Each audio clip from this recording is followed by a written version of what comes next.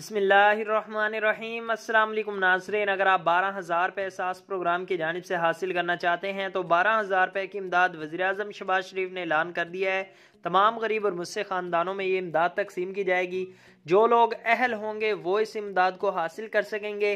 अहल तमाम अफराद होंगे जो गरीब और मुस्सिक हैं, जिनको आटा प्रोग्राम में शामिल किया गया था, आटा दिया गया है। उन तमाम अफराद को ये बारह हज़ार रुपये की ईदी भी मिलेगी।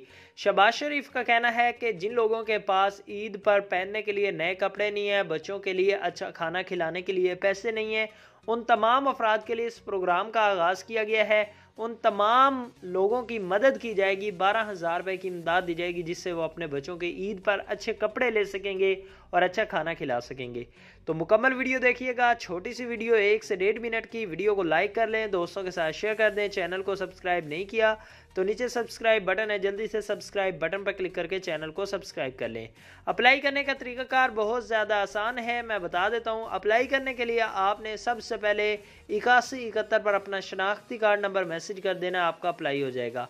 अगर आपको अहल किया जाता है तो आपको ये बारह हज़ार रुपये की इमदाद मिलेगी। अगर आपको अहल नहीं किया जाता, ना अहल कर दिया जाता है तो आपको इमदाद नहीं मिलेगी।